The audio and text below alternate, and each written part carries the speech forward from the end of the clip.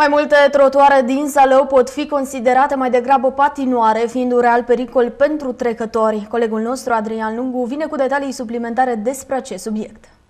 Doamnelor și domnilor, știți care este cea mai bună modalitate în municipiul Zalău de a-ți rupe picioarele și mâinile? Nimic mai simplu. Veniți pe niște porțiuni de trotuare de pe strada Gheorghe Doja sau din cartierele uh, celelalte cartiere din municipiul Zalău, acolo unde pe alocuri nu a fost curățată zăpada, care s-a transformat, după cum se poate vedea și aici, în stradă de gheață o modalitate bună de a patina, dar și de a ajunge la spital, mai ales în această perioadă. Mare, mare grijă aveți pe unde circulați, să nu cădeți pentru a nu vă trezi la urgențe cu piciorul în gips. Iar autoritățile ar face bine să înțeleagă că astfel de porțiuni trebuie înlăturate.